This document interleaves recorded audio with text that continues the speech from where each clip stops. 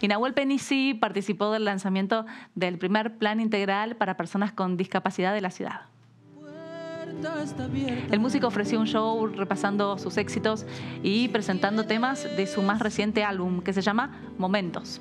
Con su destacada habilidad vocal y su maestría en la guitarra, Penici cautivó al público que disfrutó de una velada cargada de emoción.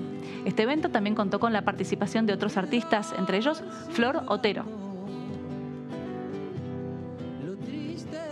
Y escuchando a Ana